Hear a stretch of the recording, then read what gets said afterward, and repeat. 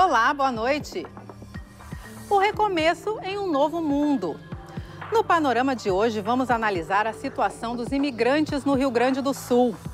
Como e onde moram os estrangeiros que tiveram que deixar os seus países e vieram ao nosso estado em busca de uma alternativa de vida. Os desafios de adaptação à cultura, língua e costumes diferentes. As dificuldades de emprego e a luta contra o preconceito. Veja ainda, começa a júri popular de policial que matou manifestante durante desocupação de fazenda em São Gabriel. E o projeto que vai divulgar os destinos turísticos do estado na Europa.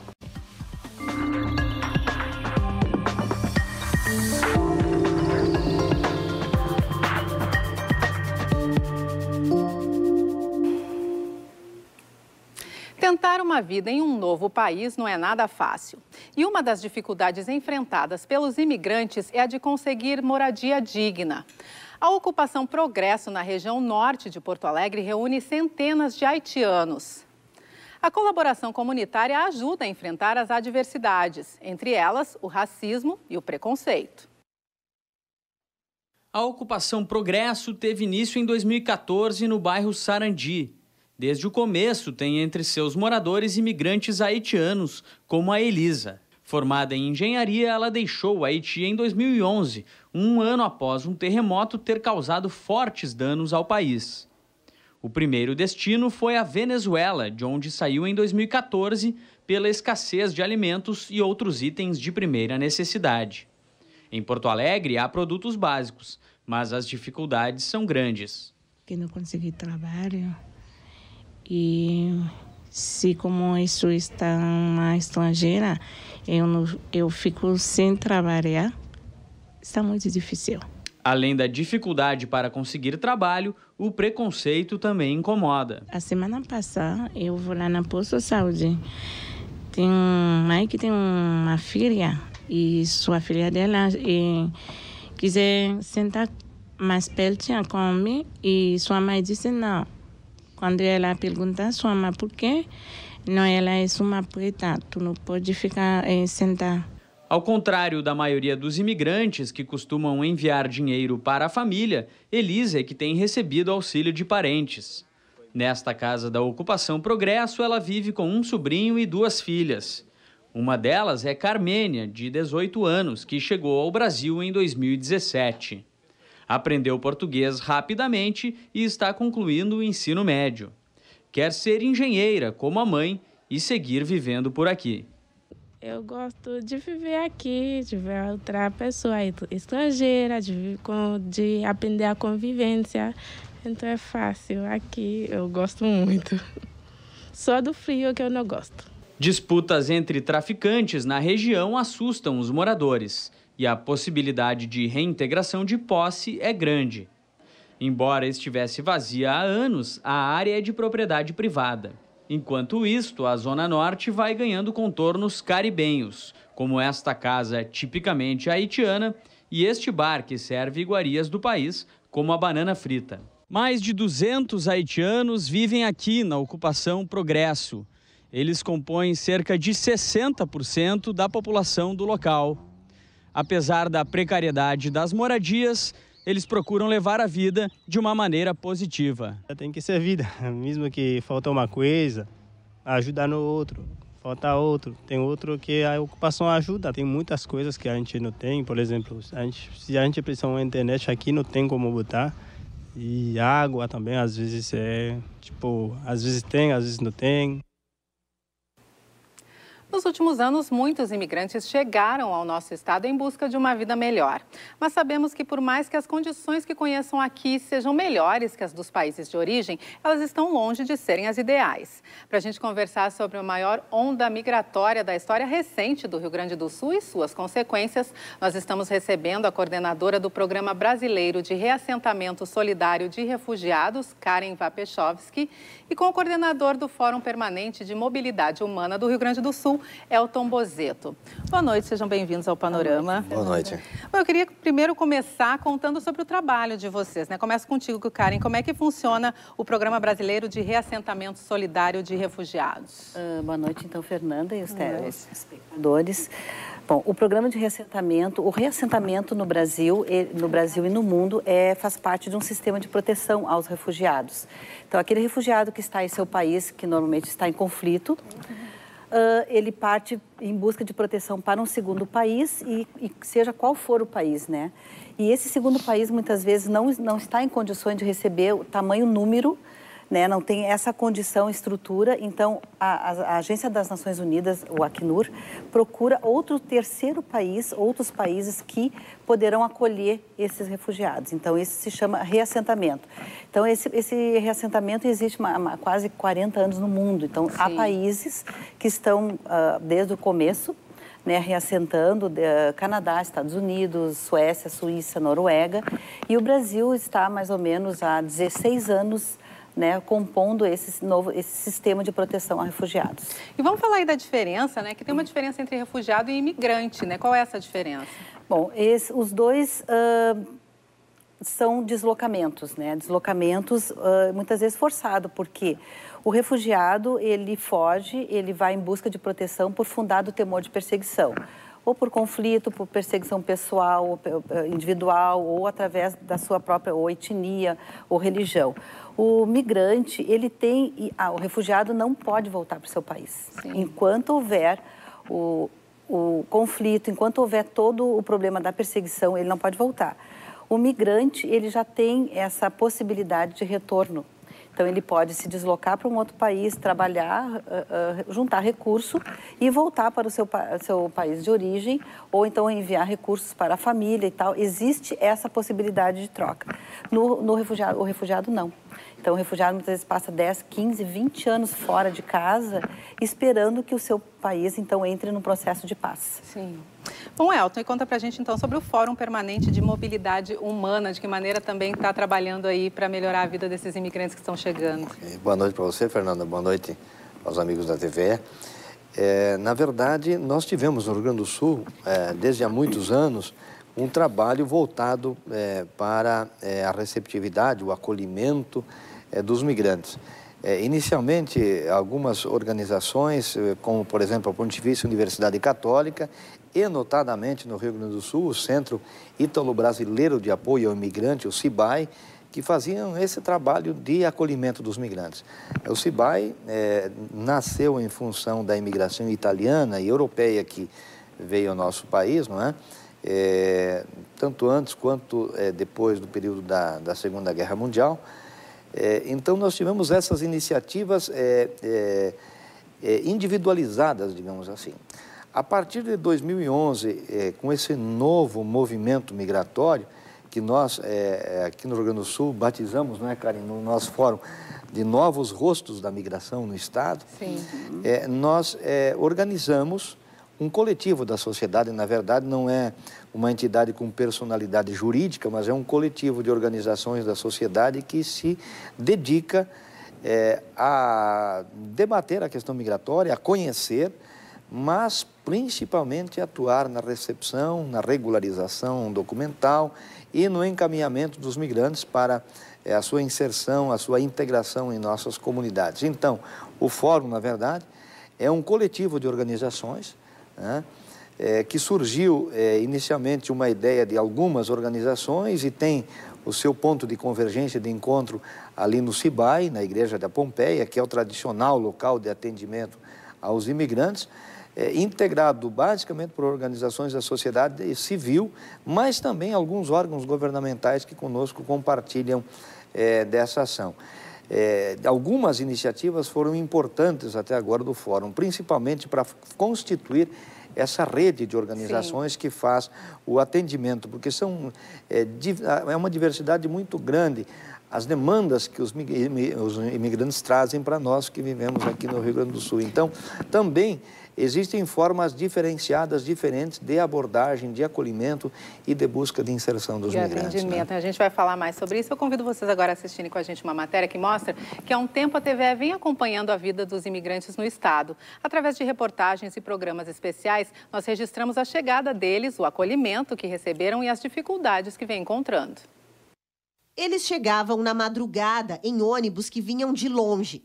Rodavam 4 mil quilômetros desde o Acre em busca do sonho de conseguir um emprego e começar uma nova vida.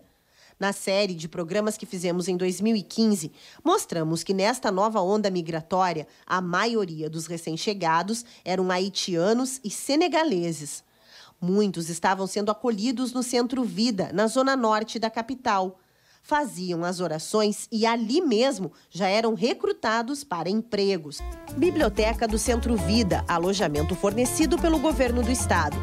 Estes haitianos e senegaleses estão há menos de três semanas aqui e já preenchem as fichas trazidas por uma empresa de limpeza. Os que não tinham essa sorte eram levados para grandes alojamentos coletivos, onde ficavam nos primeiros dias até começarem a regularizar os documentos de entrada no país. O caminho começava no Ministério do Trabalho, que na época emitia 90 vistos por semana para imigrantes. Na época, o diretor-presidente da Fundação Gaúcha do Trabalho fez um alerta. Não podemos não olhar a realidade e temos que saber que temos a condição de receber até um certo momento. E esse certo momento talvez não esteja tão longe talvez esteja chegando próximo. Ou seja, precisamos acolher, precisamos estar abertos, precisamos ser humanos, mas também precisamos saber de que daqui a pouco nós temos que tomar alguma atitude para poder, simplesmente tendo o retrato do que nós temos à disposição, também sabermos se já não temos as pessoas suficientes para preencher esse espaço. Numa das reportagens, conhecemos o Duveus.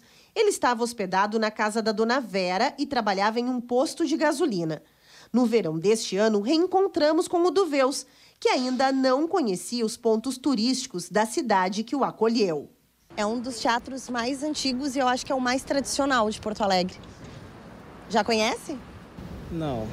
Gostaria de entrar? Sim. Pedido atendido, levamos Duveus para um pequeno passeio pelo São Pedro. Também mostramos a vida da Elisa, uma técnica em agronomia que já tinha imigrado para a Martinica e a Venezuela. Ela morava na Ocupação Progresso, um dos locais que mais concentra casas de imigrantes em Porto Alegre. Na época, havia cerca de 40 casas de haitianos, hoje são 65. Elisa tinha dificuldades para conciliar o trabalho e os cuidados com a pequena Isabelle. A história despertou a solidariedade desta família de Canoas, que foi até a casa dela e levou doações. O que trouxe essa família até aqui foi uma reportagem exibida na TVE sobre a realidade dos imigrantes haitianos. Eles viram a matéria, decidiram sair do sofá. De telespectadores, passaram a ser cidadãos querendo ajudar. De 2015 para cá, o número de imigrantes aqui no estado aumentou cinco vezes. Passou de 4.500 para quase 20 mil. No início de 2016, Prefeitura, Governo do Estado e União chegaram a assinar um termo de cooperação para construir um centro de acolhimento para imigrantes. Mas a verba de R$ 1 milhão 250 mil reais ainda não foi usada e o recurso pode acabar voltando para os cofres do Ministério da Justiça. Aqui no estúdio nós seguimos conversando então com os nossos convidados. Bom, a gente viu aí um salto no número, né, de 2015 para cá, de 4.500 para 20 mil imigrantes e refugiados. Quais são as consequências aí desse número e o que, que eles mais precisam? Quais são as maiores necessidades dessas pessoas que chegam? Aliás, há que se é, fazer um ajuste. É, né, esse número se refere aos novos migrantes que estão aqui. É importante que o amigo da TVE é, saiba que nós temos no Rio Grande do Sul, na verdade, 108 mil migrantes vivendo aqui. Né? Se contabilizarmos, evidentemente, todo aquele fluxo, fluxo, migratório que nós tivemos desde a década de 70 com Sim. os hispano-americanos, vizinhos, uruguaios, argentinos, paraguaios, chilenos, sobretudo, né, Karen? Uhum. Tem um uhum. contingente expressivo aqui no estado. Então, são 108 mil migrantes, são 19.800 é, esses novos migrantes que chegaram é, nesse período recente. É, se fôssemos enumerar as necessidades e a demanda que nós temos no migrante, talvez encheríamos algumas, algumas folhas de, de caderno, não é, Fernanda? Mas é, o acesso ao mercado de trabalho talvez seja o componente primário, não é? Evidentemente que junto com isso vem toda a questão do aprendizado da língua e a facilitação da comunicação, é, já abordado na primeira matéria que nós vimos aqui, a questão da moradia. É, então, são uma série de componentes que, e, e, realidades surgidas e que, no entanto, nós, através do fórum, temos trabalhado bastante. É, sobretudo esta questão da, da questão da língua, mas não apenas o aprendizado do português, porque não Sim. basta, é necessário nós fazermos uma integração cultural dessas pessoas. É verdade. Uma inclusão cultural, para que eles conheçam a nossa realidade e para que nós, também brasileiros, conheçamos é, o perfil cultural, as componentes da cultura, a riqueza, os valores, os princípios que essas pessoas trazem é, para o meio da nossa sociedade. Porque senão nós vamos tra estar tratando o migrante como alguém estranho. Então, o migrante é um sujeito de direitos como qualquer brasileiro. Só está aqui na nossa terra, né, é. Karen? Como é que a gente pode falar sobre esse, esse, número aí também? Em questão das políticas públicas, uhum. né? Quer dizer, teve uma verba aí que está disponível, não foi usada e pode ser perdida, né? E juntamente com essa verba, outros... Uh outras ações do próprio Estado brasileiro, que aconteceram algumas promessas, algum uh, comprometimento que o Estado brasileiro fez frente a outros países de acolhimento, de ab abrir uh, as fronteiras e também de financiar programas de reassentamento, né? Que nem ano passado teve uma reunião em Nova York que o presidente Temer participou e se comprometeu mediante a comunidade internacional de reassentamento, de ajudar né, os sírios, né, refugiados sírios. E ficou-se, então, numa expectativa, não só no Brasil, mas fora do Brasil, para que o Estado, então, brasileiro organizasse um edital, organizasse um programa uh, brasileiro em atenção especial essa, aos refugiados sírios. Então, nós não tivemos nenhum movimento concreto, né? A gente espera... Não aconteceu? Não aconteceu, né? Então, essa promessa ainda paira no ar, né? E, e nós que, que trabalhamos com reassentamento também estamos nessa expectativa, porque a sociedade civil, que esse programa é um programa tripartite, governo federal, Nações Unidas e sociedade civil. Nós somos uma agência implementadora, a Associação Antônio Vieira. Então, nós, nosso trabalho é esse, né? Essa agência faz isso.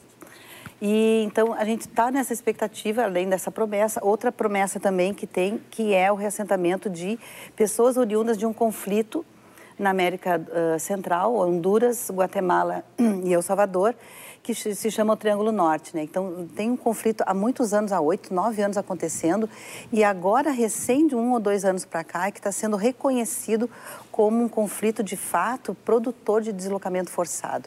Então, existem muitas famílias fora, né, uh, esperando essa oportunidade e nós aqui com estrutura podendo receber. Podendo receber. Mas a gente Aliás... vai voltar a falar no próximo bloco, né? Porque no próximo bloco também a gente vai ver aí que as dificuldades que os imigrantes têm, uma das maiores é ingressar no mercado de trabalho. Operação Viagem Segura aperta a fiscalização no feriado Farroupilha. Exportações gaúchas em queda e combate ao crime em alta. Veja um resumo de notícias do dia. Em apenas 24 horas, sete pessoas morreram e 36 ficaram feridas nas ruas e rodovias gaúchas durante o feriado Farroupilha. A Operação Viagem Segura registrou 41 acidentes de trânsito no estado somente nesta quarta-feira. Ao todo, mais de 6.400 veículos foram fiscalizados e quase 1.200 infrações foram notificadas. As exportações gaúchas recuaram 0,6% em agosto na comparação com o mesmo período do ano passado. Conforme a Fundação de Economia e Estatística, as vendas externas do Rio Grande do Sul somaram 1 bilhão e 700 milhões de dólares no último mês. Com isso, o resultado acumulado em 2017 chega a 11 bilhões e 600 milhões de dólares, uma alta de 4% em relação ao mesmo período de 2016. 16 pessoas foram presas hoje no estado durante a operação de combate ao roubo e clonagem de veículos. A Polícia Civil também cumpriu 25 mandados de busca e apreensão em municípios da região metropolitana. Conforme a investigação, o grupo criminoso era responsável pela compra de 25% dos carros roubados e furtados na capital. E aconteceu hoje mais uma reunião de negociação entre o governo do estado e a frente jurídica que representa os trabalhadores das fundações que tiveram a sua extinção autorizada pela Assembleia Legislativa em dezembro do ano passado. O encontro ocorreu no Tribunal Regional do Trabalho, na capital, com mediação do desembargador João Pedro Silvestrin. A Frente Jurídica apresentou uma proposta ao governo para que um plano de demissão voluntária substitua as demissões compulsórias. Segundo os advogados, essa alternativa permitiria uma economia maior ao Estado, já que os maiores salários são dos servidores considerados estáveis, que poderiam aderir ao PDV, a próxima reunião, quando o governo responderá à proposta, ocorrerá no dia 3 de outubro. Começou hoje o julgamento do policial acusado de matar um integrante do MST durante a desocupação da fazenda Soltal, em São Gabriel. Os detalhes você confere ainda nesta edição. E depois do intervalo, veja como os imigrantes que vivem no estado lutam contra o preconceito e a falta de empregos. Nós já voltamos.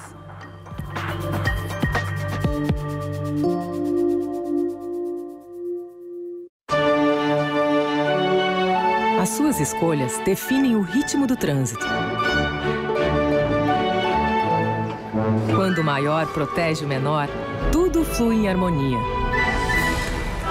Na faixa, o pedestre é o grande maestro.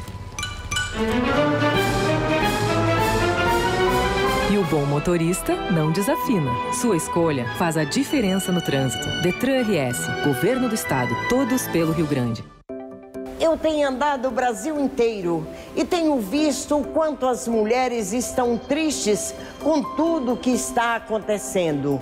São jovens que não encontram emprego, trabalhadoras que ganham menos, mulheres que são vítimas da violência, mães que perdem seus filhos para as drogas. As mulheres são as que mais sofrem. Porém, são as mulheres que têm força para reagir. No olhar, no coração de cada brasileira, eu sinto a vontade de mudar, de dar um basta nisso tudo, de fazer diferente. Convidamos você, estudante, trabalhadora, dona de casa, para participar e fazer uma nova política.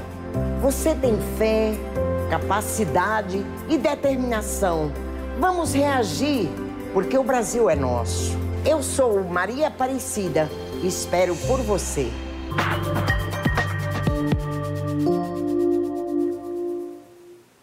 Estamos de volta e, como já vimos no programa de hoje, o preconceito é uma das consequências desagradáveis que podem ser geradas pela imigração. Em Esteio, na região metropolitana, a suspeita de ações mais rígidas contra o comércio de mercadorias por senegaleses virou polêmica. Em uma área onde eles são proibidos de vender, a nossa equipe de reportagem registrou outros ambulantes trabalhando livremente. Será perseguição ou apenas cumprimento da lei? As imagens mostram o senegalês Penny Dier sendo detido no centro de Esteio, na região metropolitana, em julho deste ano. É o desfecho da fiscalização da venda de produtos em situação irregular. No boletim de ocorrência, o guarda municipal afirma que o senegalês estava alterado e reagiu com violência. Mas as imagens captadas por quem passava na hora do tumulto não registraram a agressão por parte do imigrante. Este não foi o único caso envolvendo senegaleses. A associação que representa os imigrantes diz que todos eles estão sendo impedidos de exercerem o comércio informal em esteio. Vocês têm nota fiscal desses produtos? Tem, tem, mas é, nossa nota fiscal não vale nada para a prefeitura, porque a prefeitura não está nem aí para nós.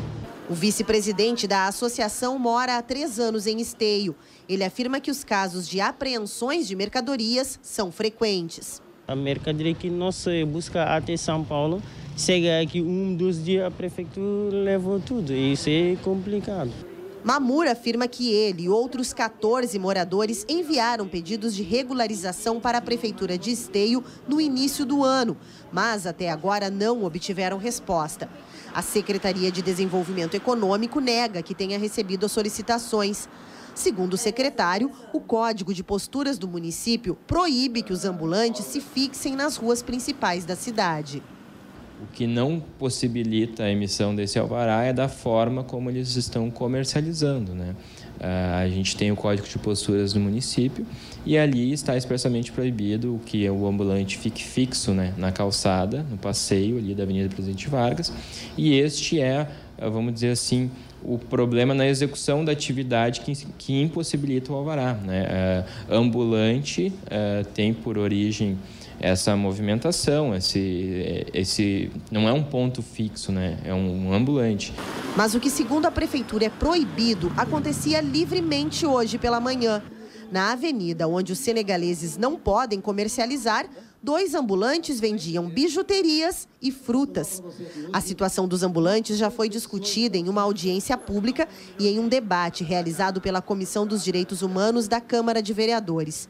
O presidente da comissão solicitou que a prefeitura permita a atuação dos senegaleses em ruas próximas à principal. Se não pudessem regularizar a questão dos senegaleses que liberassem algumas áreas, alguns espaços, porque a situação deles estar no nosso país é uma questão social, né? não é uma questão de segurança que foi o que ocorreu aqui dentro do município. E até hoje, nós já se passaram já mais de um mês, a gente não teve nenhum retorno do executivo. Sinceramente, a gente vê que não está tendo nenhum interesse em tentar regularizar a situação dele aqui deles aqui dentro do município. Né? A prefeitura afirma que tem encaminhado os imigrantes para vagas no mercado de trabalho formal e que é preciso proteger os comerciantes da cidade.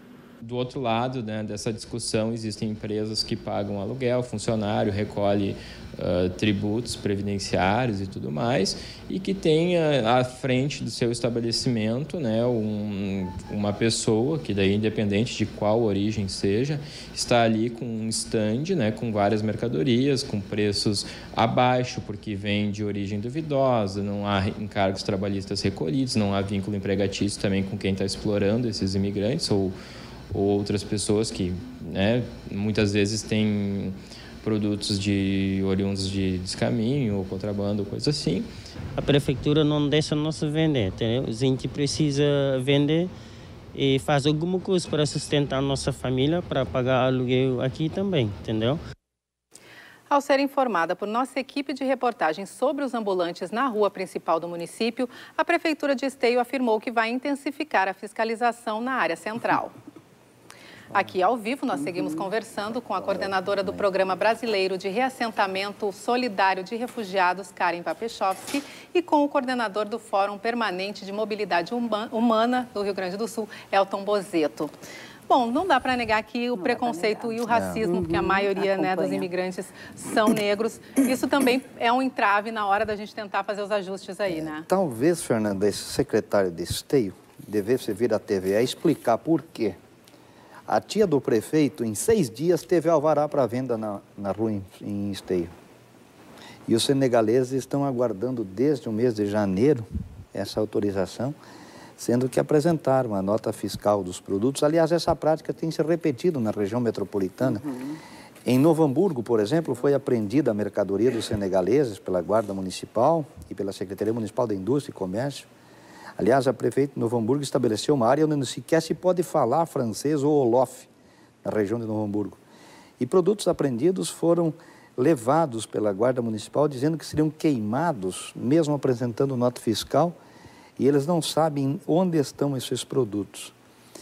Então, na verdade, é porque são negros, porque são senegaleses, porque são migrantes que não podem ser regularizados? O que de fato, qual é a postura que essas prefeituras estão adotando. Aliás, eu mesmo, é, aqui em Porto Alegre, a gente tem sentido hoje, nosso prefeito, infelizmente, veio uma rádio da capital é, afirmando que os senegaleses estão vendendo produtos contrabandeados. Pois, olha, onde é que está a investigação que está dizendo que esses produtos são contrabandeados? Foi feita uma investigação. Em Torres foram apreendidos 17 imigrantes há poucas semanas e numa celeridade fantástica, das 11 da manhã às 18 horas, eles foram houve a, a, identificação, houve a apreensão, houve a prisão, o julgamento e a condenação, dizendo que estavam vendendo os produtos, contra, aliás, tratados como contrabandistas, sendo que eles tinham notas dos produtos. Então, qual é a postura mesmo que nós estamos tendo no Rio Grande do Sul em relação ao direito desses homens e dessas mulheres que vêm ao nosso Estado exercer o seu direito de sobrevida? Certamente está bem complicado, e, né, Karen? E, e, da mesma forma, podemos esquecer que o Rio Grande do Sul é formado por migrantes, Exatamente. né? Então, essa é uma, é uma afirmação permanente que a gente tem feito, né? Uma lembrança uhum. de que justamente essas cidades ao redor de Porto Alegre que foram formadas por alemães, uh, italianos e outras culturas. Então, o que, que a gente quer, Fernanda, nós como sociedade civil, que, que através das nossas práticas poder colaborar com o Estado, com o município, com a federação na construção de políticas específicas de atendimento a essas populações, porque nós não podemos achar que eles são invisíveis, né? Ou então só quando incomodam na nossa porta, quando vendem as suas seus produtos duvidosos, né? Que até agora não não se prova também. Nem, cobrou, nem comprovou a origem. Exatamente. É então assim o problema é que é um problema, estão em território brasileiro, estão em território nacional, e nós temos que dar conta dessas pessoas, porque têm o direito humano de migrar, de procurar uma condição melhor de vida, e isso é inerente ao ser humano migrar. Né? Quantas civilizações que se formaram a partir desse, desse desejo de buscar uma condição melhor, de, de sair em busca no mundo de uma condição melhor. Então, essa questão também da, do senegalês, ela não está vinculada à migração deles a um desastre, diferentemente do haitiano. Sim. Porém, o senegalês tem na sua cultura a vocação, questão da né? a vocação para venda. Então, assim, não é uma questão de, ah, estão passando fome, ou então não tem emprego. Não, é porque eles gostam, isso faz Sim. parte da, da cultura e da, da economia deles, a, a, a venda na rua. Então, para eles não é, custa entender, para o senegalês, por que, que a rua não posso vender as coisas, minhas coisas na rua. É a questão cultural que a gente estava é, falando que precisa ser entendida precisa também, ser entendida né? no contextualizada no, no, para todas as culturas têm a sua especificidade. A gente compreenda. Né? A gente vai ver agora que milhares de estrangeiros buscam emprego no Rio Grande do Sul todos os anos, mas além da crise econômica, a inclusão de um imigrante no mercado de trabalho enfrenta uma série de obstáculos. Ronald e Isai estão entre os cerca de 60 estrangeiros que trabalham na Santa Casa. Assim como os dois, a grande maioria desses trabalhadores vem do Haiti. A presença estrangeira traz contribuições importantes. São pessoas que nos trazem uh, alguns valores diferentes e que eu acho que é muito importante para a instituição também. Uh, a gente trabalha muito com a inclusão e eu acho que eles estando aqui também facilita bastante para isso. Assim, a gente enxerga eles aqui dentro da instituição. Marluce explica que os imigrantes trabalham principalmente nas áreas operacionais, como estoque, almoxarifado e faxina. Principalmente porque o pleno domínio do português é necessário para as áreas mais técnicas. Mas os trabalhadores recebem aulas do idioma para se aprimorar. Isai está há apenas um ano no país e já fala bem a língua porque trabalhou na missão da ONU no Haiti, liderada pelo Brasil. Todo mundo sabe, agora está um pouco difícil, tá? Mas graças a Deus, para mim, o Deus ajuda para ganhar um serviço aqui no Santa Casa. Já Ronaldo, que está há dois anos no Brasil, ainda tem dificuldades com o idioma, mas se sente bem adaptado ao país. Eu tudo haitiano, trabalhar lá na Santa Casa, gostou. Gostou, Brasil.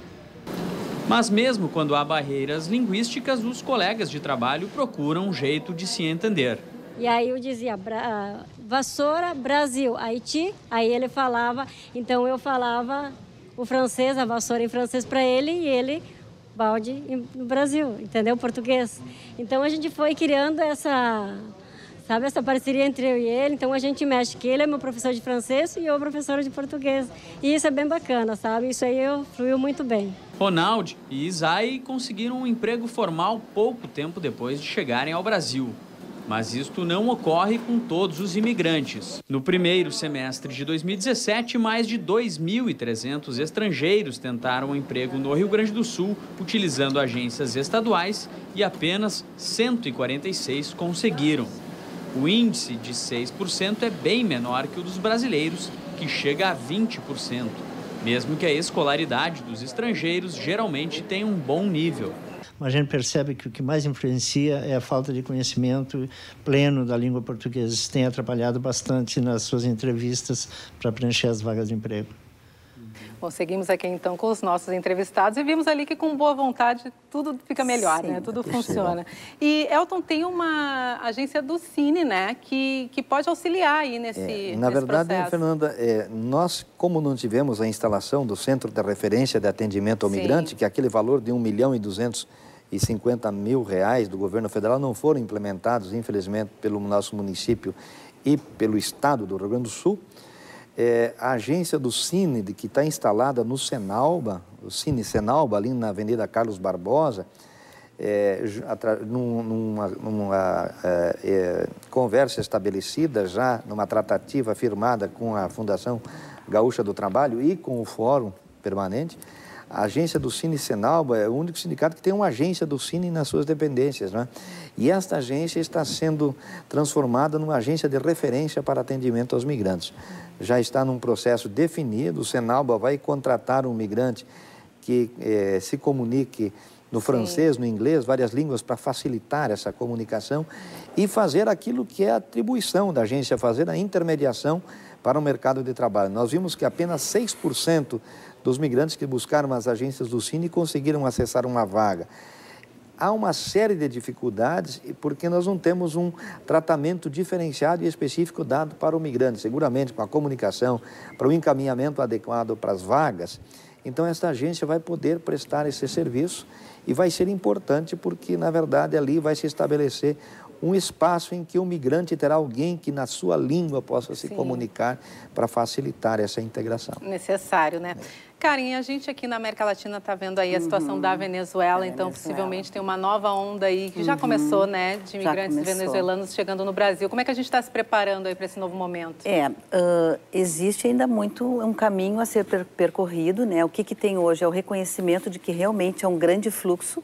Uma cidade que nem Boa Vista, que tem 12 mil habitantes, recebeu 30 mil venezuelanos, indígenas e não indígenas.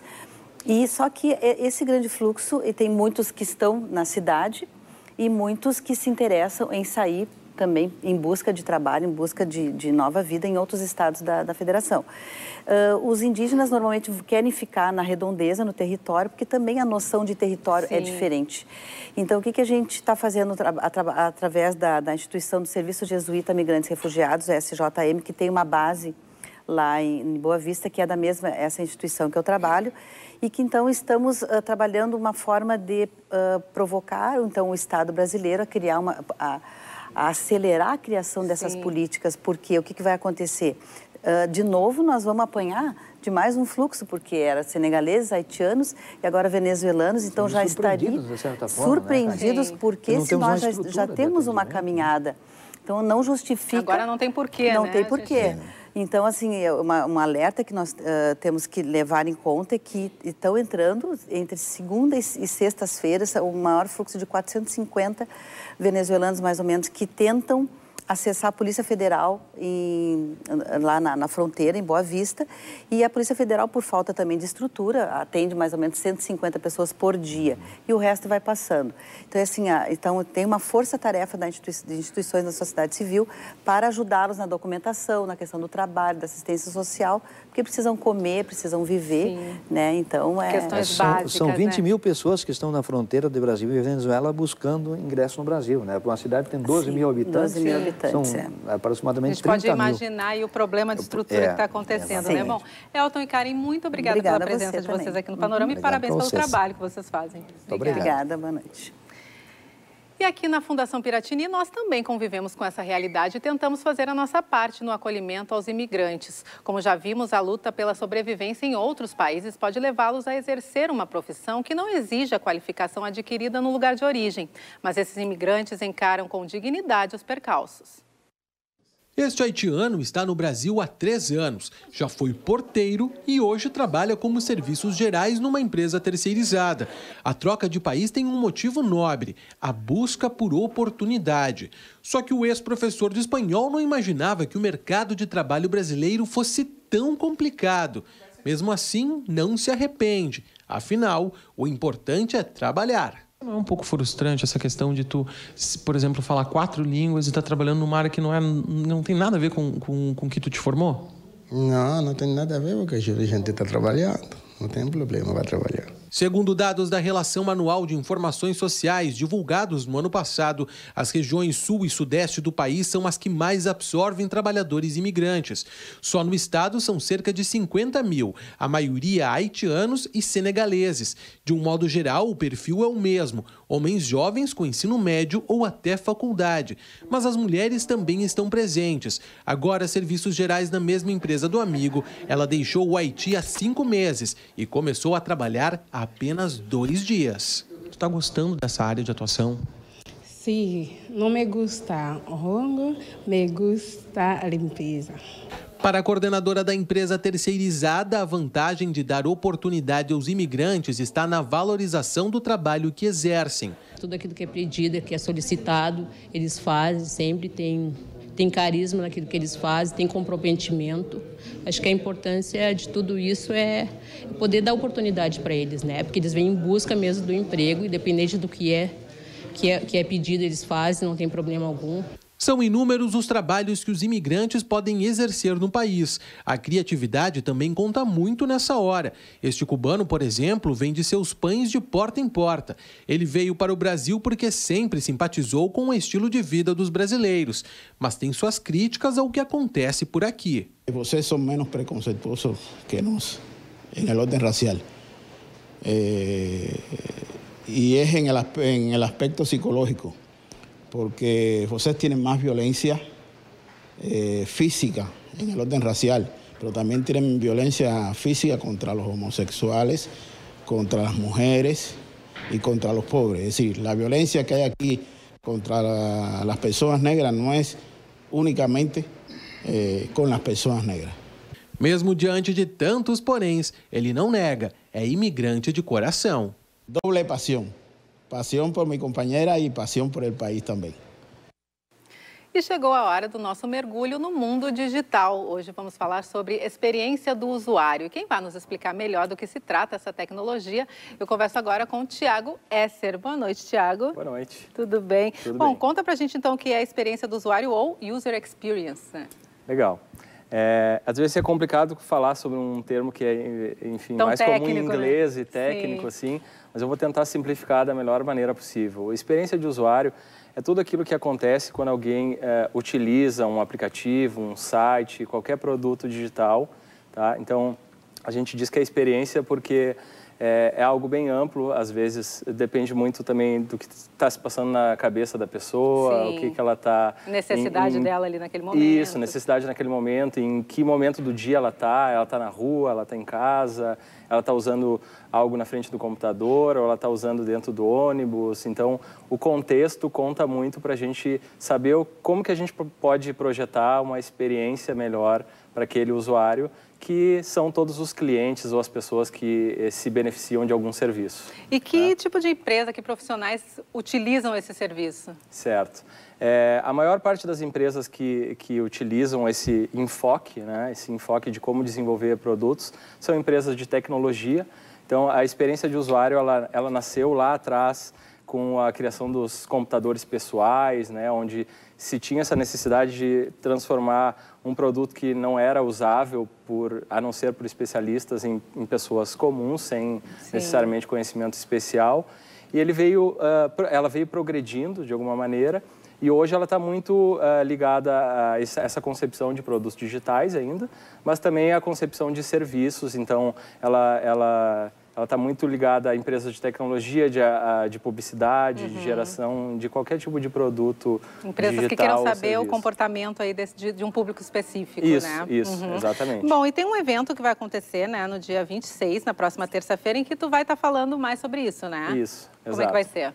Então, eu vou estar vou estar nesse, nesse evento que chama F5, evento pro- é, promovido pela ABRAD, Associação de Agências Digitais aqui do Rio Grande do Sul.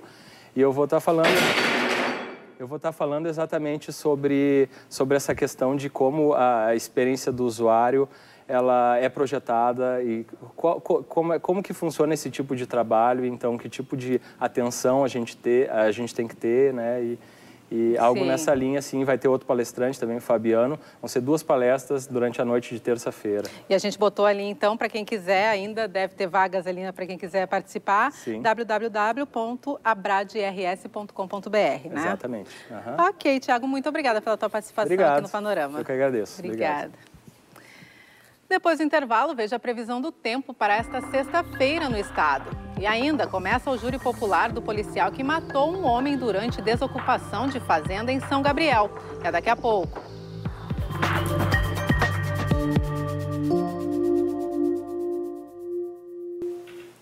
Estamos de volta e vamos à previsão do tempo para amanhã, sexta-feira, dia em que começa a primavera.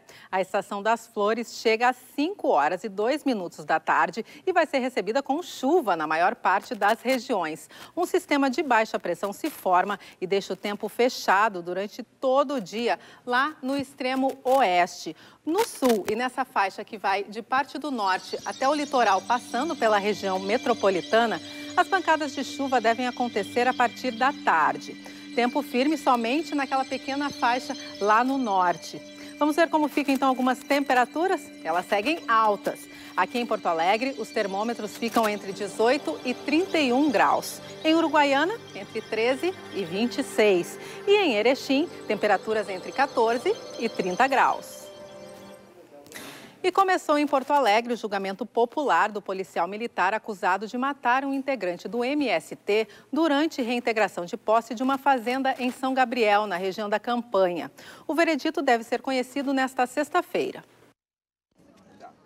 Integrantes do Movimento dos Trabalhadores Rurais Sem Terra, o MST, chegaram cedo ao Fórum Central, local do julgamento do policial militar Alexandre Curto dos Santos, que responde por homicídio qualificado de Elton Brum da Silva.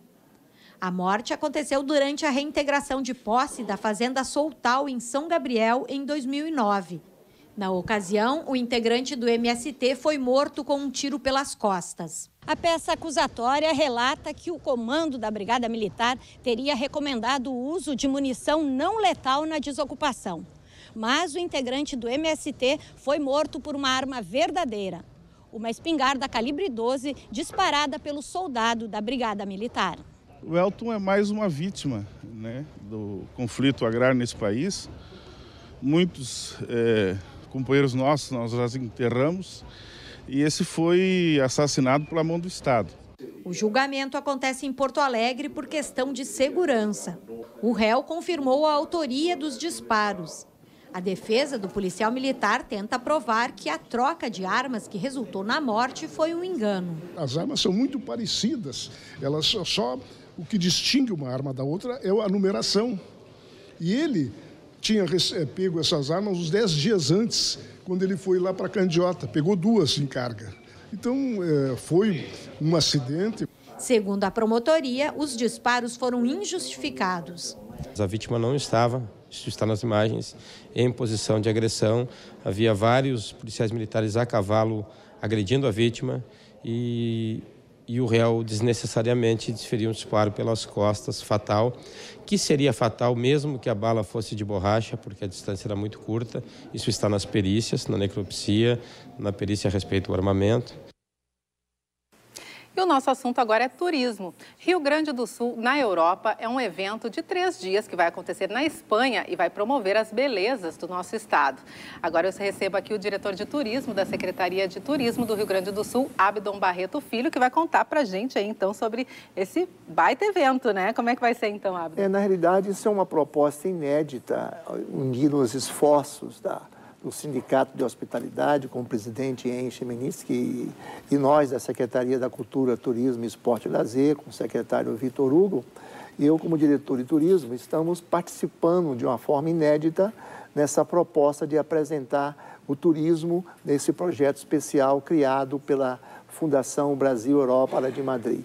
É um trabalho que foi iniciado em janeiro e a partir de janeiro nós temos trabalhado bastante. Estamos levando conferencistas que farão apresentações no dia 26, 27 e 28 em Madrid, com uma campanha promocional, com projeto de slides, projeção de slides de vídeo nas redes sociais, anúncios no metrô, anúncios na revista de bordo, tudo isso uma proposta completamente patrocinada pelo Sinda. Né? A gente está vendo um videozinho ali, então, que mostra o que a gente tem de mais bonito, né, em todas as áreas, cultura. É, e o que, que vai ser mostrado lá? Assim, o que, que esse pessoal que não conhece o Rio Grande do Sul vai estar tá vendo, vai é, despertar a curiosidade deles? Na realidade, foi feito primeiro uma pesquisa do que é que o europeu, basicamente a Península Ibérica, teria interesse em conhecer um pouco mais do Rio Grande do Sul. E eles ficaram encantados. Para começar, a maior experiência espanhola no Brasil foi aqui realizada nas missões. Sim. Mas além das missões, nós temos a capital do estado, Porto Alegre, pela situação, pela projeção que Porto Alegre ganhou nos seus eventos. Nós temos aí a natureza, a naturaleza, né? Sim. A região da uva e do vinho, o enoturismo. Nós estamos levando o pessoal, o presidente da, do pessoal que trabalha com o rafting, a questão das corredeiras, né? Vamos mostrar os cânions, vamos levar o gramado azul, vamos levar o Parque Gaúcho, vamos levar um pouquinho de algo que participa da oferta de um Brasil diferente. Eles estão muito acostumados com, com os três S, Sun, Sea and Sex, né? que é o, é o negócio da praia, é o negócio do mar, é o negócio do sol. E nós estamos apresentando que nós temos isso e temos muito mais coisas. Sim, é Onde a nossa natureza, a nossa cultura, a nossa formação, a nossa hospitalidade podem, sem sombra de dúvida, atrair visitantes para cá.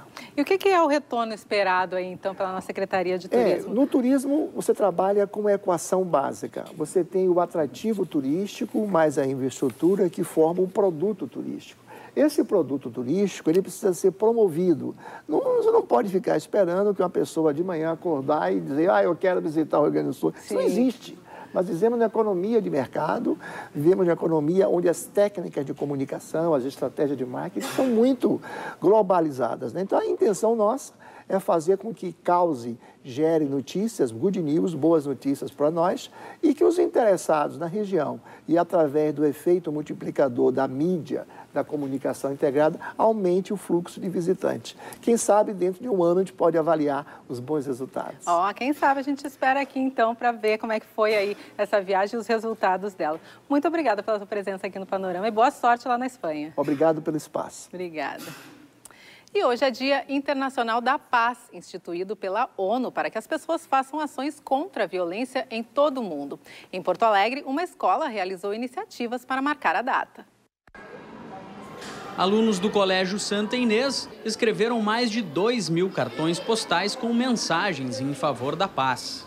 Eu escrevi que temos que, que fazer a paz. O mundo precisa melhorar, sem violência, sem desmatamento e sem gente passando fome. Eu escrevi: temos que ter fé e esperança no mundo. Sabemos que ele não está como queríamos, mas sei que com que juntos conseguimos um mundo melhor.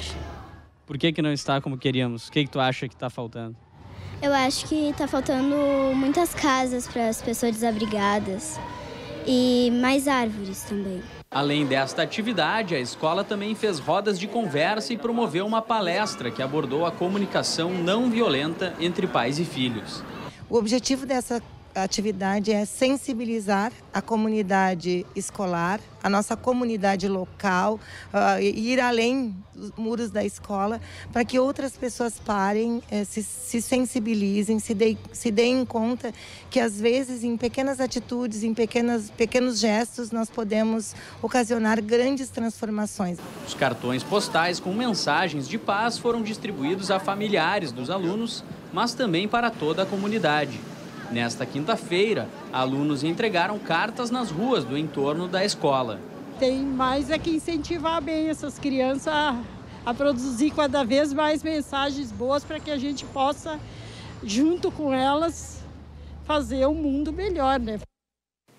E nós terminamos o programa de hoje com a triste notícia da perda do nosso colega, o cinegrafista aqui da TV, João Dornelles. Ele faleceu nessa madrugada e será velado a partir das 10 da noite na Capela K do cemitério São Miguel e Almas. O sepultamento está marcado para amanhã, às 11 da manhã.